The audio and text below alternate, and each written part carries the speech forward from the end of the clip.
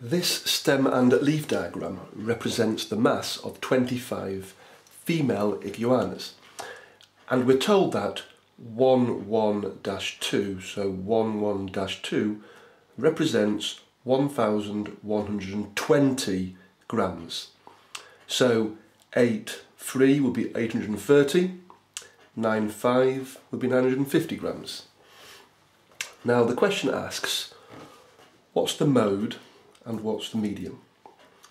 Now the mode is the most frequent mass of the 25 female iguanas. And if we scan our eyes over the diagram, then we observe these three sixes here are the most frequent number within any given leaf.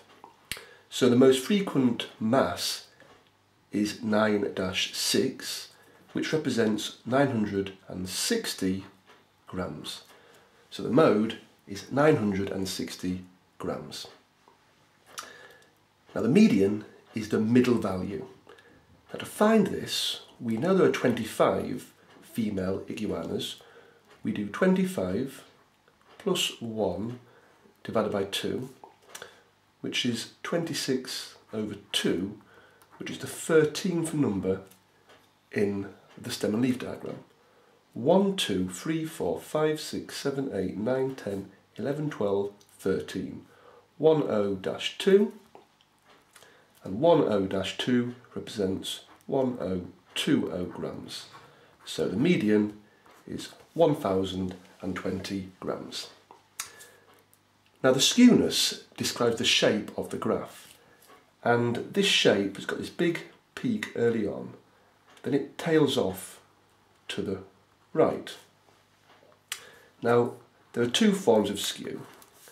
There's either the peak to the right with the tail off to the left, or as on this diagram, the peak to the left with the gradual tail off to the right. And this graph here, this graph here is called positive skew. This one's positive and this one's negative.